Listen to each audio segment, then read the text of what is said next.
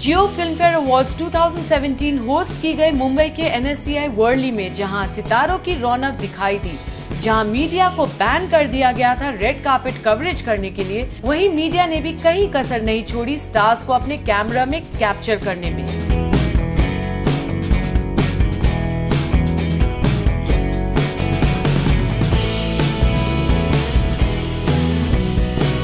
जैसे जैसे बॉलीवुड के चमकते सितारे अपने गाड़ियों में नज़र आए, वैसे ही हमें भी मौका मिला इनके पहनावे को अपने कैमराज में कैद करने में।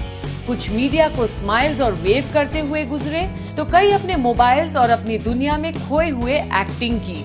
आइए गौर फरमाइए और देखिए अपने पसंदीदा स्टार्स को अवार्ड्स नाइट के मौके पर अपनी मौजूदगी का इजहार करते हुए।